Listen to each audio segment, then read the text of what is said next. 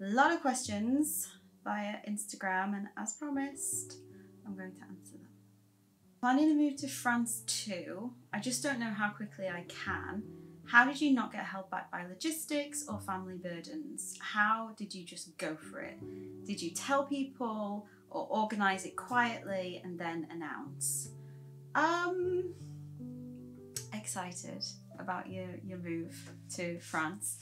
Very, very excited for you. I found it terrifying, but it was a question of I was, yeah, it was something that my hairdresser actually said really eloquently that that is so true. He said if you if you try something, if there's something that you want to try and you try and you fail, doesn't work, you'll forget about it very quickly. You'll move on with your life. If you never try, then you have to live with that regret until you die, which yes, sounds very existential.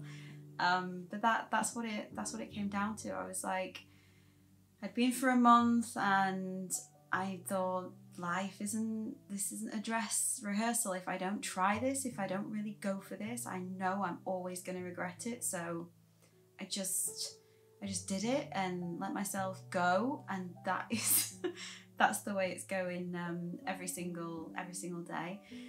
My family is very very small, and I don't have children, so I think that makes a big difference. But they were very opinionated about it. They had a lot of questions. Um, but we're still in that phase of this is temporary, I'm going to come back. It's just a phase that Jess is going through. It's just something that she has to get out of her system. Uh, if I stay long term, long term, it might it might be a little bit different. But honestly, the the biggest piece of advice that I would give you is to live your life for you, not for other people. I think you have to consider what they have to say. You have to consider their feelings but ultimately, this is your life. And if you have dreams, aspirations, things that you want to do, if you don't try, you won't succeed at, at all of them. You know that, then that's okay. That's fine. But if you don't at least try, you're always going to um, you're always going to live with the with the regret. I didn't organize things quietly as such. I'm very I'll yeah I'm I'll just say what I'm thinking when when I'm thinking it with um, with my family. It's them that have the much more realistic logic logical questions and I'll be like, oh I just I don't really know, I'm gonna maybe figure that out. Or it's not a big deal and I, I play things down so that they're they seem really small when they're actually a, a massive deal. But no, I communicated openly with them. I think it's again it's a case of what what works best for you and what gives you more confidence. So if you know that someone's going to tear down your dreams and aspirations, don't tell them. They are not. They are not your people. Um, keep it secret. Keep it safe. And yeah, but above all, follow what it is that, that you're wanting you're wanting to do. I'm 100% heart led. How do I find balance and make sensible decisions? I'm not the right person to ask. I'm not the right person to ask. I'm the person that my friends come to when they want to do something ridiculous and they just need someone to believe in them that it's possible. So, whatever it is that, that your heart's telling you to do, I would tell you to to do that. I don't believe in living a sensible life I think a life full of mistakes and intuitive and heart led decisions is far more interesting, far more entertaining, and is what we are all designed to live. And I think it's culture and society that tries to get us to live a very different hamster wheel kind of life that is sensible. Uh, I tried that, it wasn't much fun, it's not for me. It's not for you either, don't do it. Follow your heart. At least then you're living from the inside out as opposed to from the outside. What's your favourite thing about living in Paris? Okay, so my favourite thing about living in Paris is that I'm surrounded by beauty every single day. Um, the the people, the life, the food, the clothes, the buildings, the museums, the art, the gardens, just everything. I am I walk out of my my front door in the morning and it's just it's constant beauty everywhere. And I love beautiful things. I love beauty. It's a real balm for my soul as a as a creative as well. And I love that I can just go on a little walk around the block and I'm surrounded by what I consider to be the most, you know, the most beautiful city in the world. So I love having all of that beauty on my doorstep. I find it a real a real balm. I find it really soothing and really inspiring on a day-to-day basis as well. I love your pictures, so pretty. Thank you. Do you edit with an app? Yes. So I I take my photos sometimes on iPhone. I have the iPhone 13 and then I shoot mainly on the X-T4, the Fujifilm that I'm using now and then I edit in Lightroom mobile. I have my own presets, my own like filters that I've um, built up over over the years, but I really love the Lightroom mobile app for editing. Uh, VSCO is is really great as well, but I tend to use the Adobe Lightroom one more because I've got a little bit more control over the uh, the colors and the, the yeah the details. I find that that to, that app to have the edge. Do you miss countryside life? I I'm I don't miss my day-to-day life from back home. I miss the quiet of the countryside. So sometimes when and I've had you know I've had to have the windows open quite a lot in the summer because it's been so hot.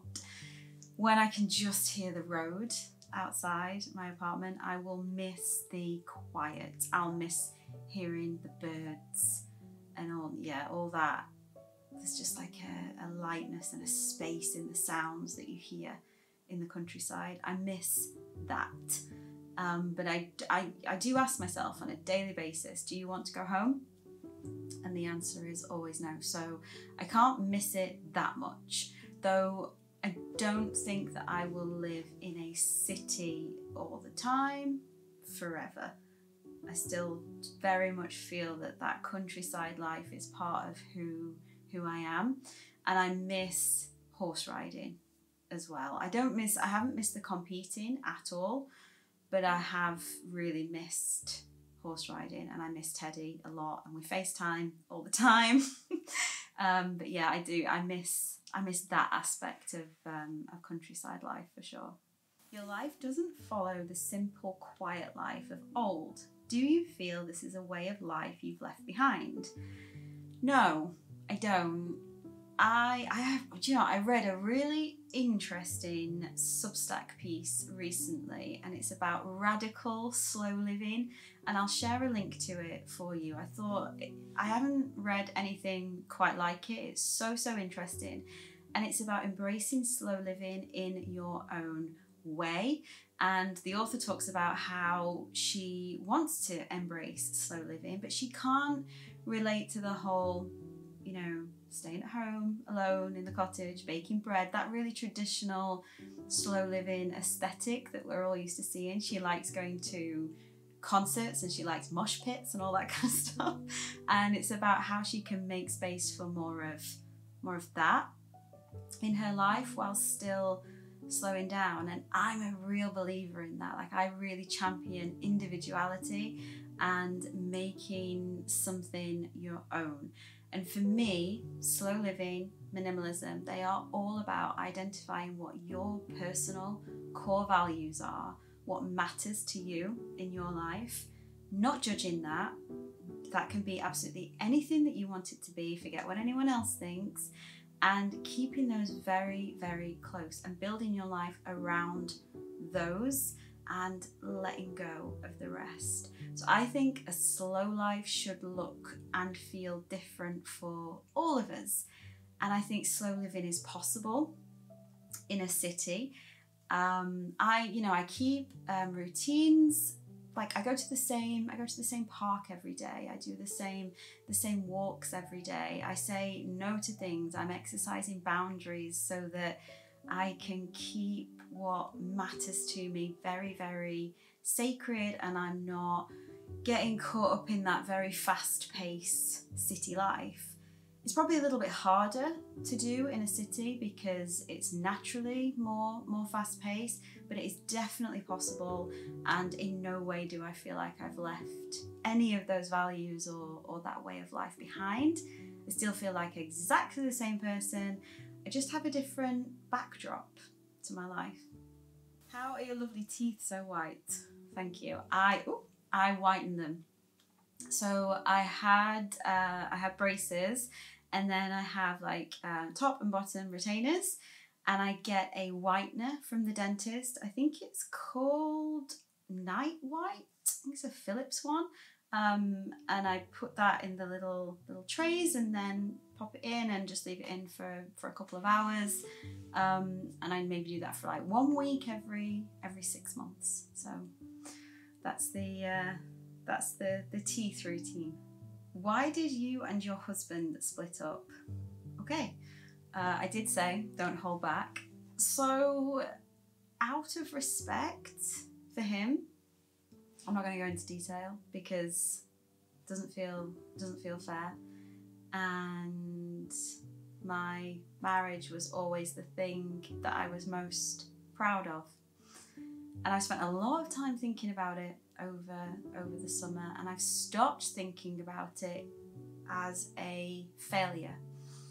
I don't talk about it with that kind of language anymore. I use the term that it didn't survive, but it was a very it was a good it was a very very good marriage and like I said out of respect our marriage was built we always said it was built on two things it was built on respect and laughter and we had great times together. We had a great marriage. We went on so many great adventures together, but it didn't it didn't survive.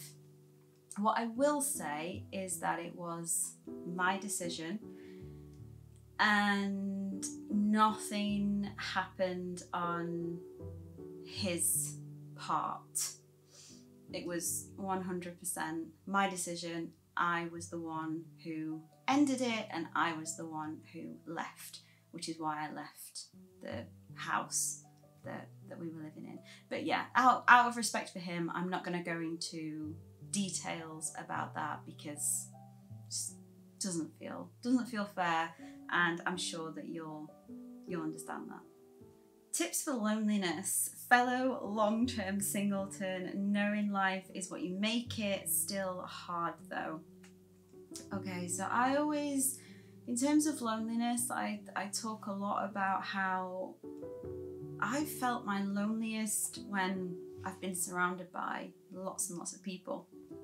So I don't necessarily think it's about not having people physically to to connect with. And I think the number one priority, if you're feeling loneliness, is to reconnect to yourself and to do that through self care, things like journaling, like I said, figuring out what your values are, building a life around those, figuring out what you want out of life, what makes you happy, and leaning into those things on your own. In terms of like bouts of loneliness, like you know, nights or days or just periods when it sets in and you you know really really feeling it, my advice is to reach out to friends and family who you can trust to sit with you in it as opposed to just trying to fix you or telling you telling you what to do. I think if you can pick up the phone or just send a text message to someone who will be empathetic towards you, that can help buckets. Like being here on my, I mean, a lot of my friendships were long distance anyway, but now you know 99% of them are, are, long distance but we still we still keep in touch we still keep the connections through consistency and and hard work and i think that is that's really really worth it because then when you are feeling lonely you have people to to reach out to how do you use the artist way in your day to day life? So, for anyone who doesn't know, the Artist Way is a 12 weeks, like a creative course. It's a really famous book written by Julia Cameron. I'll leave a link to it in the description. It's incredible. I worked through it years ago. In terms of bringing it into my everyday life, it talks a lot in there about childhood trauma and self reflection and self care and self love. And I think I try and bring those aspects into my life every single day through tiny routines. So I have a morning routine that is built around self care with exercise, meditation, journaling. I don't do the three pages every single morning anymore. I journal maybe half a page in my journal, but I do do that every single day. That is a an ingrained habit that I will never ever let go of. Uh, the artist dates as well, I have recently brought back into my life since being here and thinking about what I want my life to look and feel like here in Paris. Uh, I have those scheduled into my diary every single week so that they take priority. And I think if we schedule something, it you know it tends to actually happen because then if someone asks you to do something that might mean you don't do it, you say no because you check your you check your diary and that thing's that thing's already in there. So it always takes priority. But I do recommend that book to anyone who wants to explore their creativity. It's it's just yeah, it's it's an absolute classic. It's amazing. You should definitely definitely give it a try. How long will you stay in this apartment? And would love to see a capsule wardrobe blog again. Okay. This apartment that I'm staying in is a sublet. I was suppo- it was supposed to be until the end of August and then it got extended and now it's definitely going to end at the end of September, early October. So, I need to find a new place to live, which is very exciting now I'm through the feeling terrified side of it. Um, because finding a place to live in Paris is notoriously very, very difficult. I don't speak the language. I'm self-employed. Yeah, I'm not on the, I'm not on the best, uh, on the best foot with that. But once I got through that, I got really excited and realised that you know my time here is it, it's time. It's time for it to, to come to an end. It's time to, to see what next. Like what's next? I definitely don't want to go home. So I am now looking for a new place to live. I think on like a, a six month lease. I think I don't know. I have issues around the whole commitment thing. We'll see. Um, we'll just see what what I can find. But I'm hoping for something a little bit bigger would be really, really nice. And hopefully where I can have like a capsule wardrobe rail and I can do more of that style of um, video for you again. So you will be seeing a lot more, a lot more of that. I'm so excited to read your novel. When will it be out? Oh, that makes me feel so excited. Uh, it's going to be a while. I haven't you know, I haven't even finished the um, the first draft yet, but I am in a very good writing routine right now, which is new but very very exciting. And I'm going to write about my writing routine and routines in um, in general on Substack very very soon. So I will I will be sharing that with you because I've learned a lot recently about writing routines. Um, but yeah, it's it's happening. So it is being written. I I think it's okay to be a slow creator. I think it's okay to be a slow writer. I, I've never had aspirations of writing a book a year, like a lot of my like a lot like a lot of my friends have. I'm fine with a you know my dream is a book every three to to four years, and enough was written in a very very short amount of time. I had six months to write the first draft of it. And it was good to have a deadline. It really, you know, got my ass in gear and made sure that it got written. But I want this to be different. I want to take my time with this novel. I want to let it let it flow, let it grow in in more more space and I'm enjoying that that process. I also don't want to give up everything else that I do, like vlogging and writing on Substack, which I would have to do if I wanted to write it in the same way that Enough was written. So the plan, the plan this year, the goal was just to start it this year. That's happened. It's underway. I plan to finish it next year, so it will probably come out at the end of next year, maybe even the year the year after. Um, but thank you for your excitement. That that makes me feel really really happy. Have you made friends in Paris? Do you ever feel lonely there?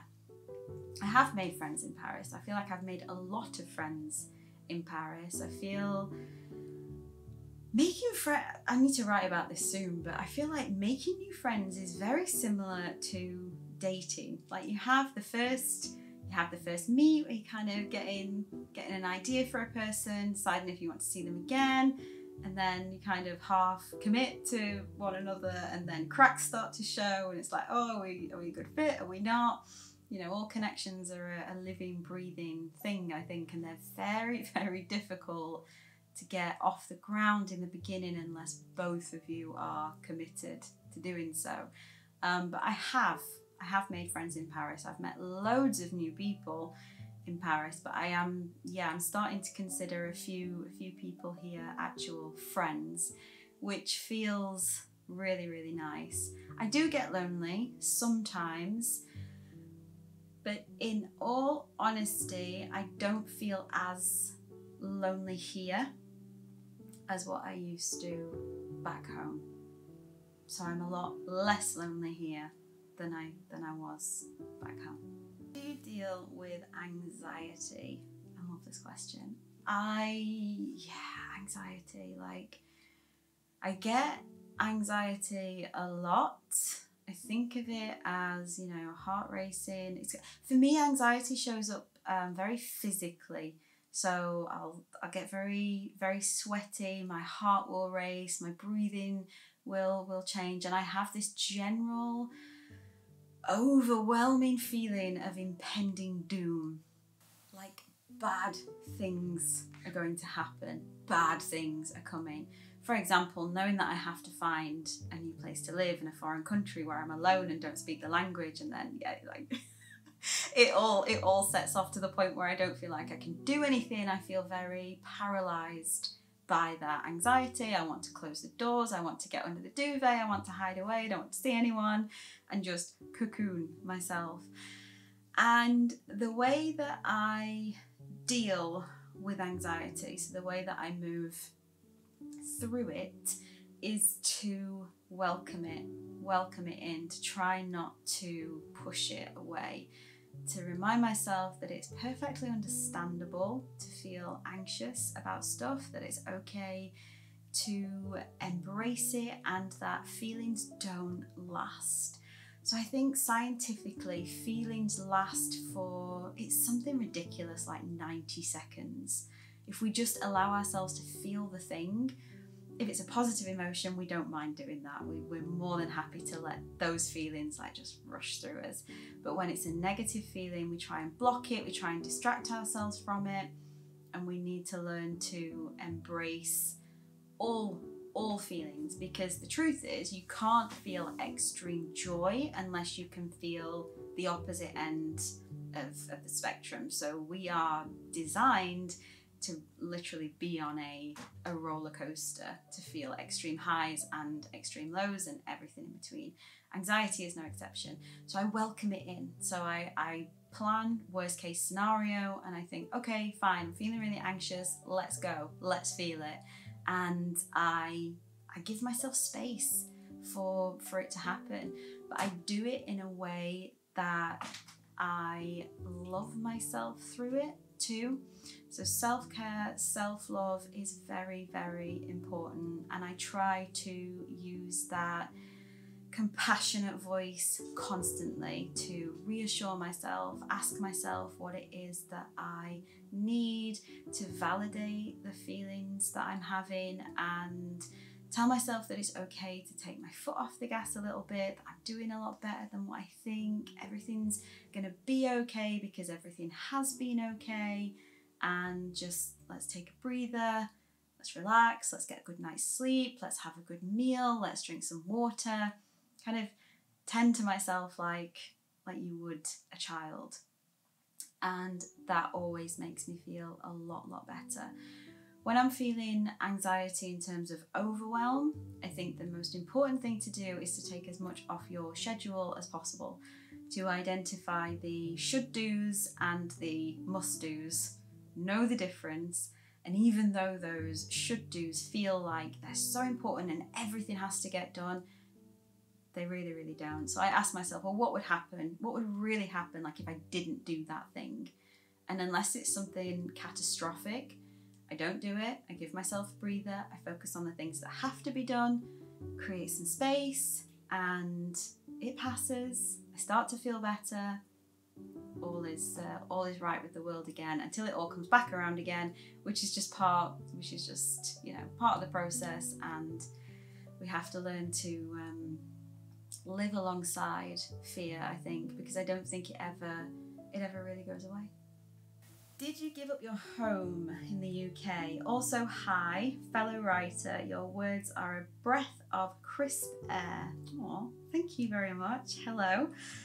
Uh, no, I didn't give up my home in the UK because uh, have few issues around commitment and moving abroad it was a massive massive thing and i wanted to dip my toe in and then i don't know i don't know i don't know you know kind of dance around with it uh, a little bit do it intuitively and take my time and i feel very very lucky that i was given the choice as to whether i wanted to keep my home and sublet it so that all the costs of it are covered or give it up completely. Like I had I had the choice. So I chose to keep it for now.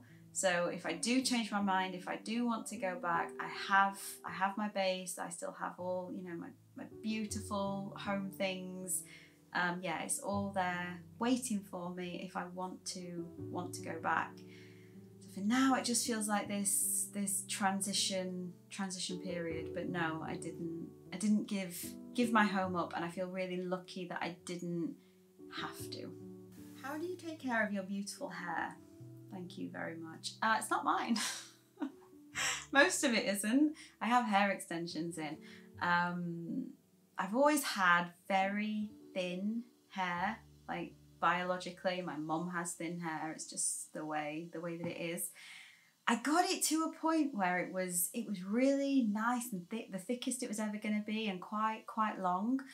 And then when I had a really tough time with my mental health, a lot of my hair fell out. It thinned really really badly. I was struggling with nutrition during that time as well.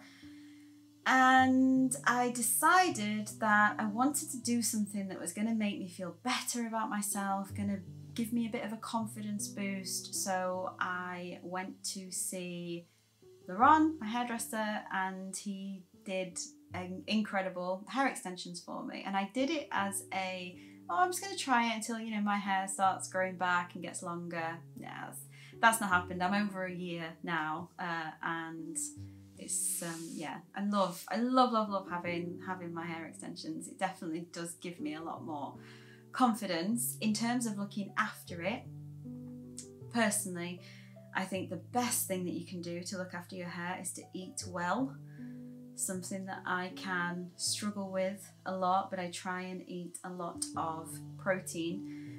And then, other than that, it's very, very simple. I use fragrance free shampoo, conditioner, and I use a hair oil as well. But other than that, I don't I don't do anything with it at all. But like I said, the majority of it isn't mine, so I don't feel like I can take any credit for it.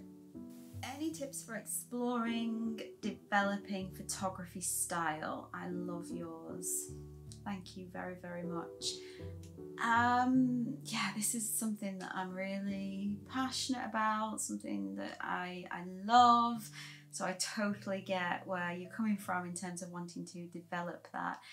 One of the best tips that I was given was in a course that I did with James and Joe Melia, who I will leave a link to because their photography course is incredible. It was their Lost in the Light course that I did. And they have this exercise where you find 10 photos on Pinterest or find them on Instagram, save them to a Pinterest board. You find 10 photos that make you feel something and you can only have 10. So you start with loads and then you whittle it down to 10.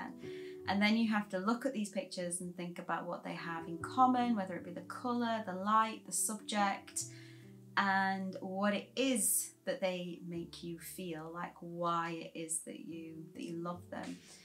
That is the best tip that I was ever given because then you can think about how to create your own version of photos like like that. And that all comes from experimentation practice trying things failing things but being committed to to learning.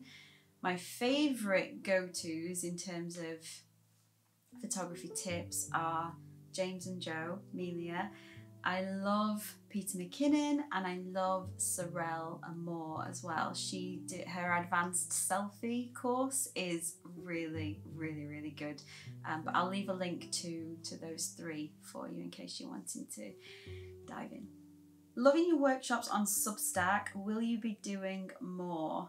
That makes me feel really, really happy. I love doing the the workshops on Substack. If you don't already know, on Substack, I do live events, usually once a month. My most recent one was a summer creative writing class that we did. I've done a personal style workshop on there as well, journaling workshops, all, all different stuff. Yes, I'm definitely planning to continue them. If you have any suggestions, leave them in the comments or get in touch with me. I'm thinking about maybe doing an interiors one next, maybe like uncovering and discovering your personal interior style because now that I'm looking for my own place here in Paris, yeah, the interior lover in me is she's starting to reawaken. Like I'm looking in interior shops again and stuff like that. So I think maybe that might be the next one. But yeah, the, the journaling ones and all that stuff will 100% continue. And I'm really, really pleased to hear that you are enjoying them. And if you don't know about them, you want to find out more, I'll leave a link in the description. Thank you for all the questions. Hopefully, you've enjoyed hearing the answers. I've added some sort of value. Um, yeah, thank you so much for watching. As always, I love doing a Q&A. I'm always curious to hear the questions that like you that you have and I always try and answer the ones that I think will help. Um, so hopefully I have done that. Hope you have a really, really great week and I will see you soon.